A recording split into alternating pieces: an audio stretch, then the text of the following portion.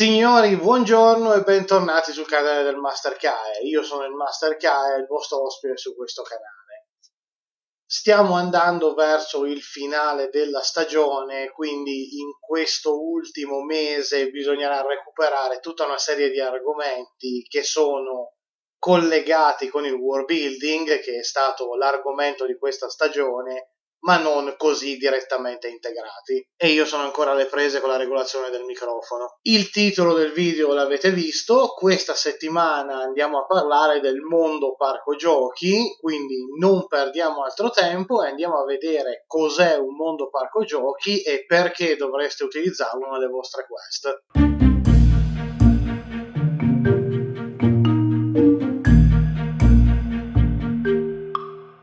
Cominciamo come sempre cercando di dare una definizione. Che cos'è quello che si intende quando si parla di mondo parco giochi. Il mondo parco giochi, come ho detto all'inizio, non è specificatamente una tecnica di war building, ma è un tipo di costruzione della quest o della campagna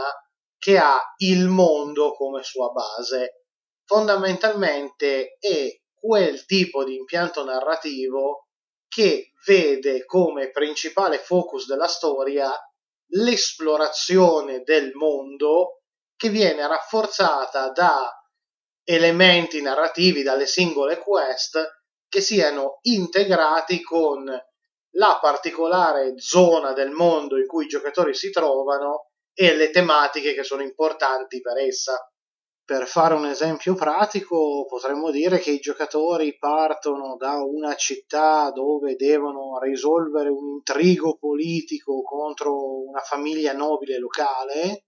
per poi andare nell'antica foresta dove gli elfi hanno bisogno di aiuto per combattere i goblin, per poi finire in cima ai picchi innevati a dare alla caccia al leggendario uomo delle nevi. Il nome Mondo Parco Giochi deriva proprio da questa logica. Fondamentalmente il mondo è diviso in aree tematiche e in ogni area i giocatori troveranno una fonte di intrattenimento a tema. È lo stesso principio in cui vengono distribuite le giostre all'interno di un parco di divertimenti. Ogni zona ha un suo tema e le giostre presenti rispecchiano quel tema. Molto spesso questo tipo di quest è malvisto o è considerato inferiore proprio per la sua natura episodica che non spinge i giocatori a fare grossi legami con il mondo o i personaggi del mondo e perché le quest sono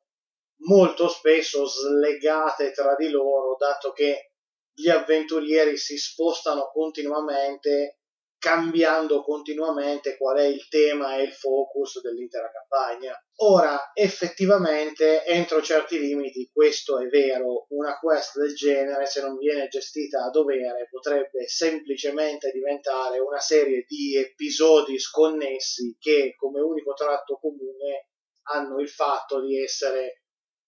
vissuti dagli stessi protagonisti che poi sono i personaggi giocanti. Questo di per sé però non è neanche comunque intrinsecamente negativo, non dimentichiamoci che questa era la struttura delle opere di, per esempio, i romanzi di Conan il Barbaro, che sono delle opere che hanno dato un contributo fondamentale alla nascita del gioco di ruolo, quindi sarebbe anche apprezzabile da un punto di vista di storia del medium, un, almeno una volta fare un tipo di storia del genere. E comunque, sempre restando in campo di letteratura, buona parte del Signore degli Anelli, altra opera di riferimento fondamentali, ha una struttura del genere, con la Compagnia dell'Anello che si sposta di zona in zona, vivendo in ogni zona un'avventura tematica con il luogo dove si trovano e questo comunque non impedisce che ci sia una, anzi una serie di trame orizzontali che leghi tutta l'opera insieme.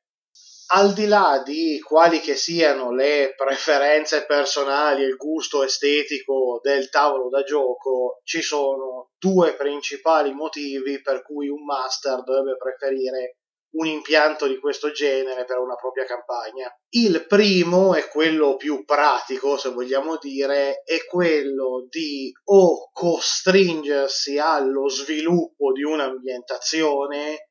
o più semplicemente per controllare che il lavoro svolto nello sviluppo di un'ambientazione sia effettivamente funzionale, magari in previsione poi di utilizzare quel mondo di gioco per un'altra campagna successiva. Ambientando una campagna in una singola zona del proprio mondo di gioco, comunque in un'area limitata come sarebbe più convenzionale fare,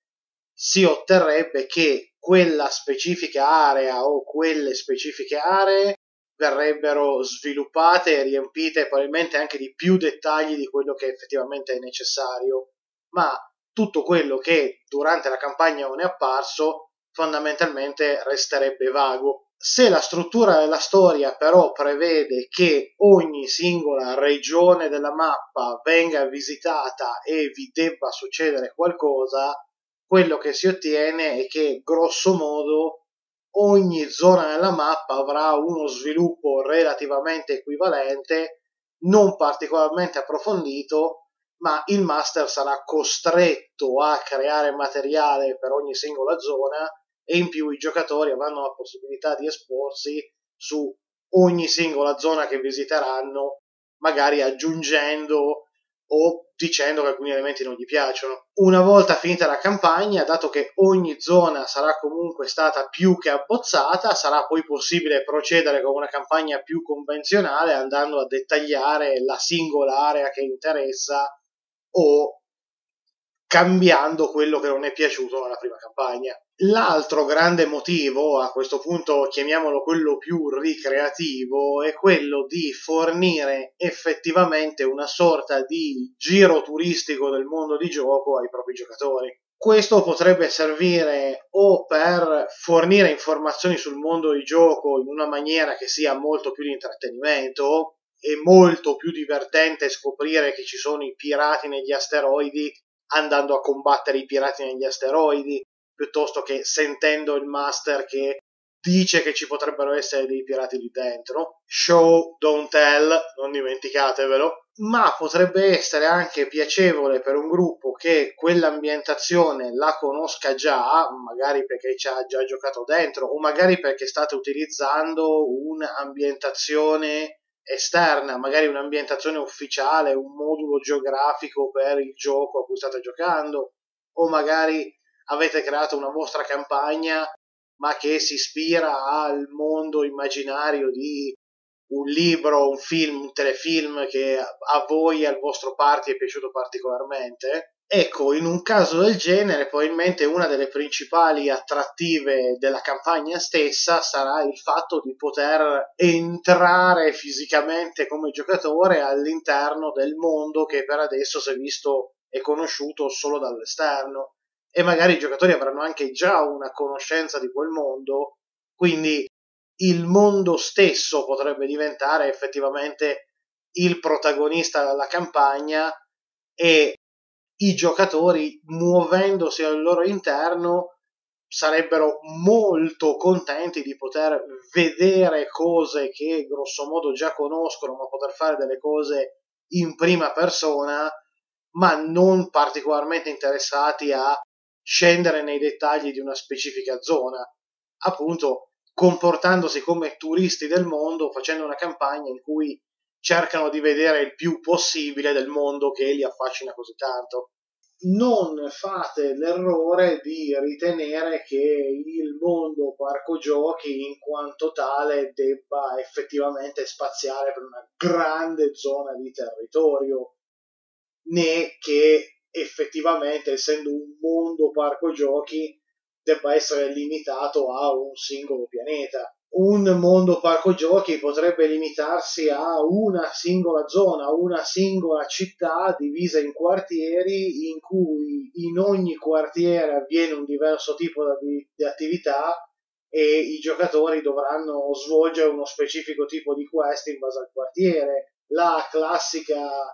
megalopoli del cyberpunk con la zona del centro, i grattacieli dove ci sono la sede delle megacorporazioni con spionaggio industriale e politica bizantina, mentre quando ci si va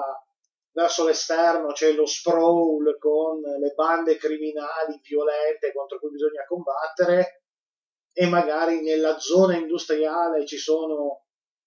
gli operai in sciopero che devono essere aiutati dagli avventurieri. E al contrario, il mondo parco giochi potrebbe estendersi per un'intera galassia con i giocatori che si spostano di quest in quest da un pianeta all'altro e su ogni pianeta dove vanno vivono un'avventura tematica. Questo fondamentalmente è la codifica originale del troppo del pianeta dei cappelli,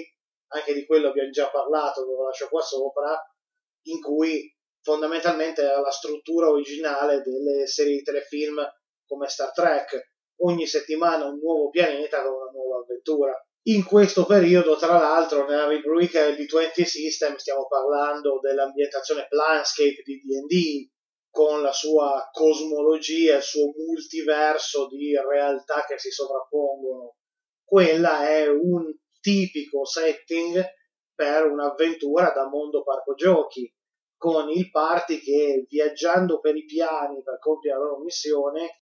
ogni quest si trova in un piano diverso dove vivrà un'avventura legata a quel piano. Dovrà resistere alle macchinazioni dei diavoli, dovrà combattere contro i demoni, dovrà parlare di logica con i Modron e via discorrendo. Tra l'altro nei commenti molti hanno fatto notare che vorrebbero vivere una quest del genere.